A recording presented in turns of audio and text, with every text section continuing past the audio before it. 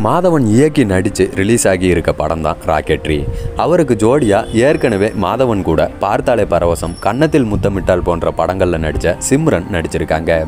முன்னாள் இஸ்ரோ விஞ்ஞானி நம்பி நாராயணனோட வாழ்க்கை வரலாறு கதையில் இந்த படத்தை உருவாக்கி இருக்காரு கடந்த ஒன்றாம் தேதி திரைக்கு வந்த இந்த படம் பாசிட்டிவான விமர்சனங்களை மட்டுமே பெற்று வெற்றிகரமாகவும் ஓடிக்கிட்டு இருக்கு இந்நிலையில் சனிக்கிழமை நடிகர்கள் மாதவன் சூர்யா ரெண்டு பேரும் இந்த ராக்கெட்ரி படம் பற்றி சமூக வலைதளத்தில் உரையாடி இருக்காங்க. அப்போ சூர்யா என்ன சொல்லி இருந்தாருன்னா ராக்கெட்ரி படம் ஒட்டுமொத்த இந்தியர்களுமே பார்க்க வேண்டிய படம்னு சொல்லி இருந்தார். இது போன்ற ஒரு வித்தியாசமான வாழ்க்கை வரலாறு கதையில் எல்லா நடிகர்களுக்குமே நடிக்கணுன்ற ஆசை இருக்கும்.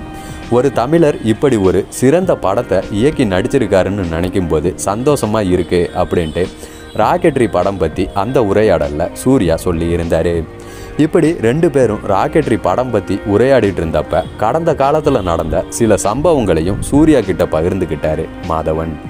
மாதவன் என்ன சொல்லி இருந்தாருன்னா நீங்கள் நடித்து சூப்பர் ஹிட் அடித்த கஜினி மற்றும் காக்கா காக்கான்னு ரெண்டு படங்கள்லையுமே நடிக்கிற வாய்ப்பு ஃபஸ்ட்டு எனக்கு தான் வந்துச்சு. அந்த சமயத்தில் வேறு சில படங்களில் கமிட் ஆகி இருந்ததால் அந்த படங்களை ஏற்று நடிக்க முடியலைன்னு சொல்லி இருந்தார். இருந்தாலும் நீங்கள் அந்த படங்களில் ரொம்பவே சிறப்பாக நடிச்சிருந்தீங்க. அதனால தான் அந்த ரெண்டு படங்களுமே சூப்பர் ஹிட் அடிச்சதுன்னும் கடந்த காலத்தில் நடந்த சில தகவல்களையும் பகிர்ந்துக்கிட்டாரு மாதவன்.